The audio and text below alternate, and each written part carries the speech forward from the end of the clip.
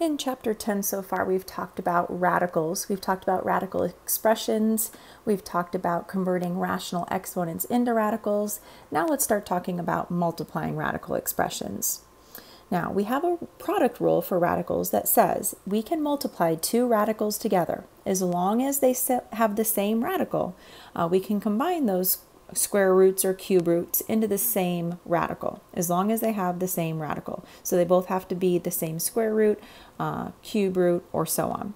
For example, uh, let's say we have the square root of 4 times the square root of 25. Now, we know that the square root of 4 is 2 and the square root of 25 is 5, and I can say then that 2 times 5 is 10. Or, if there wasn't an even square root of 4 or an even square root of 25, what I can do, because they're both underneath the same radical, they're both square roots, we can instead of doing them separately, we can combine them into the same radical. We could say that the, we have the square root of 4 times 25. 4 times 25 is 100, and the square root of 100 is 10. So you can see they're the same value. This works as long as they're underneath the same radical. You cannot multiply a square root with a cube root or a cube root with a fifth root or so on. Okay, let me show you some examples of that. It says here in example number one to multiply. So a says the square root of 6 times the square root of 5. Well, there is no even square root of 6, a whole number. There is no whole number square root of 5. But what I can do, because they're both underneath the same index radical, I can multiply them together and say the square root of 6 times the square root of 5 is the same thing as the square root of 30. Now, there also isn't a square root, an even square root of 30, but we can go ahead and still combine it and simplify the answer and say my answer is the square root of 30.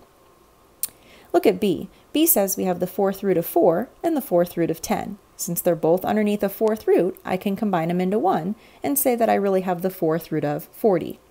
Now, we can see if there's a number that multiplies 4 times to give us 40, but I don't know if there is, so it looks like that would be our final answer.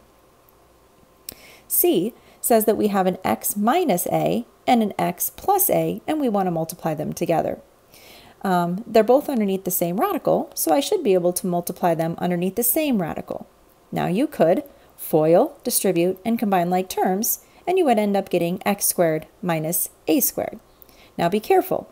Please don't try to take the squares and the square roots and cancel them out and say that your answer is x minus a, because that would mean that you actually have an x minus a and you have two of those so that they cancel out, which you don't. You have an x minus a and an x plus a. Because there's a plus or minus sign, you cannot just cancel those roots, those squares and the roots um, together. You have to just leave it like that. So our final answer on this one would be the square root of x squared minus a squared. D has the cube root of 7p over 6 times the cube root of 5 over q. Because they're underneath the same root, I could combine them together and say that I really have the cube root of 35p. I got that by doing 7 times 5 over 6q. I have the cube root of 35p over 6q. Now, if I could reduce 35 and 6, I would want to.